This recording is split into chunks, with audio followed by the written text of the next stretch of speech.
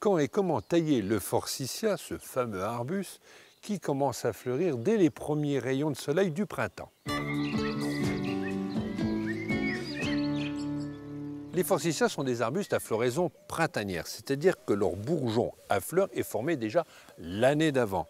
Donc il faut absolument les tailler dès qu'ils sont défleurés, un petit peu comme le lilas. Du reste, on les taille au moment où les lilas sont en fleurs. Et pour avoir une jolie floraison régulière tous les ans, il est important de le réduire au moins d'un tiers. Alors pour ça, on utilise un sécateur et on coupe absolument toutes les branches. Alors, en insistant à l'intérieur de façon toujours à bien l'aérer pour que la lumière passe au travers du forsythia.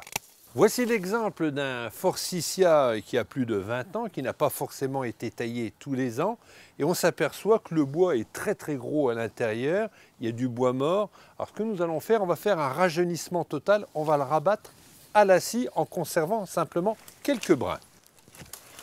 Maintenant qu'on a retiré les branches principales, il faut surtout retirer les herbes indésirables car elles ont un bon terrain pour pouvoir se développer. Comme la taille annuelle des forsythias, on va le réduire d'un tiers. Et là, on voit les nouvelles pousses. Donc ce sont ces pousses-là qui, l'année prochaine, fleuriront. On va réduire aussi les branches qui sont à l'horizontale, c'est-à-dire celles qui traînent par terre. Et on réduit tout le restant d'un tiers.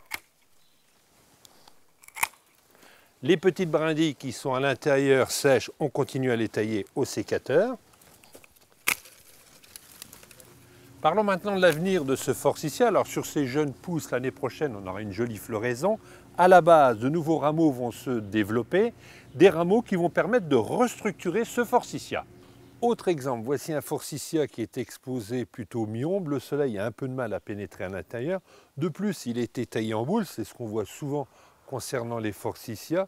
Le problème, lorsqu'un forsythia est taillé en boule, il y a énormément de bois mort à l'intérieur et petit à petit, le forsythia dépérit. Autre inconvénient, ce forsythia, comme il a été taillé en boule, on voit les pousses de l'année dernière qui ont été taillées, mais trop tard, c'est-à-dire qui ont été taillées à partir du mois de juin.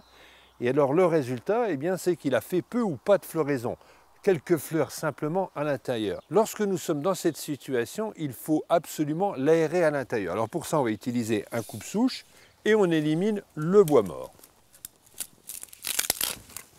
On peut aussi bien l'aérer et pour ça, on va supprimer des branches à l'intérieur.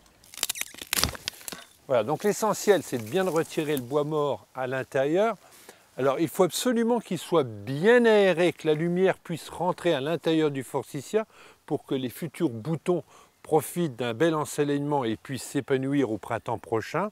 On dit toujours, lorsqu'on a fini de tailler un forsythia, c'est vrai aussi pour de nombreux arbustes, un oiseau doit passer au travers sans se raccrocher les ailes.